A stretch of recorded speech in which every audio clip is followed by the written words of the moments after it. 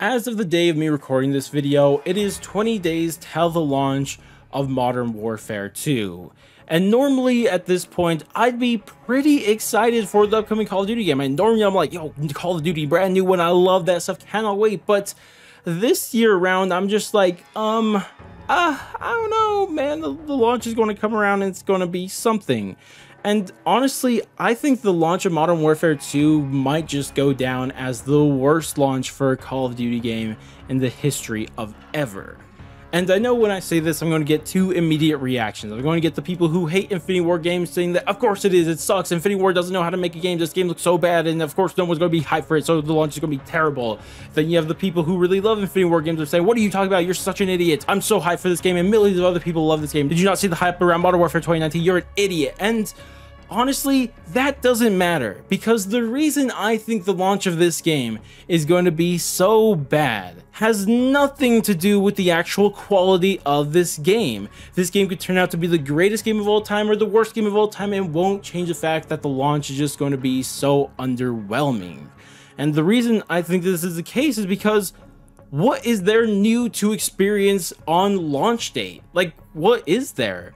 I mean, normally what people jump on when they play a brand new Call of Duty game is, you know, multiplayer. Can't wait for that. But we kind of already played the beta, which the beta was so close to launch, it's probably just a demo. So it gave us a really good idea of what we were going to get. Like, sure, there's going to be a ton more maps on launch and a ton more guns, ton more attachments and stuff like that, which that's fun. I'm sure people are excited for that. But how excited can you really be for that when you really already have a good idea of what the multiplayer is going to be from the beta?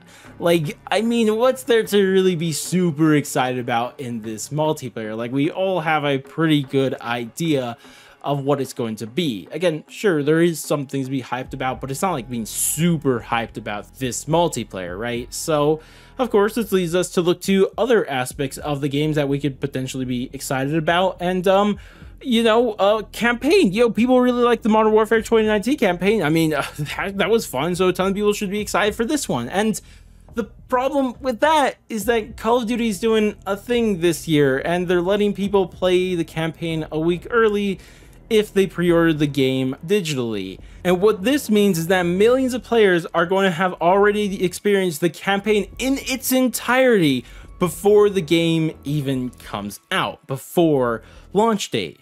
And even worse so, all the content and all the online hype is already going to be uploaded and a whole week old by the time launch comes too. So the online hype is also not even going to be there for the campaign. So of course, these two things alone leave the launch in a very weird place. But believe it or not, there is still one more mode that is going to be available on launch for Modern Warfare 2. And honestly, believe it or not, it actually might end up being the most played one on launch solely because it's the only new experience we're going to have.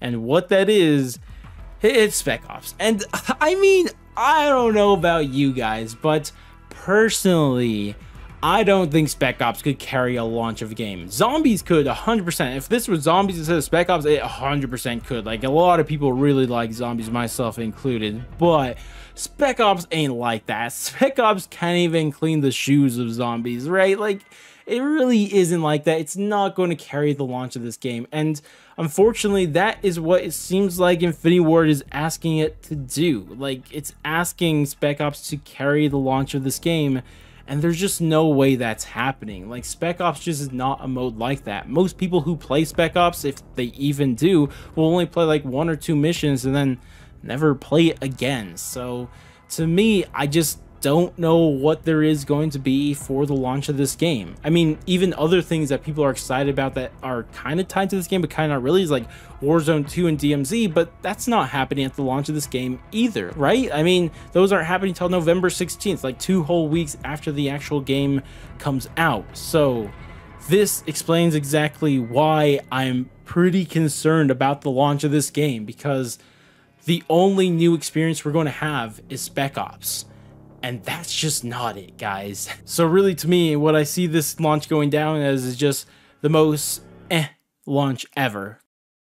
Regardless, though, that's everything I have to say. And uh, I'd love to hear what you guys think about this whole situation. Do you guys agree with me that uh, you know the launch is going to be a humongous L, even if the game isn't an L, but the launch is definitely going to be an L? Or do you guys actually think there's going to be a lot of hype around the launch of this game? Let me know down in the comment sections below. Regardless, though, that's going to wrap it up for me. If you guys did enjoy the video, I would appreciate if you guys dropped a like, subscribe, bell, share, and all that great stuff. But I'm going to go. I'll catch you guys extreme video or whatever the heck it may be. And uh, laters, guys.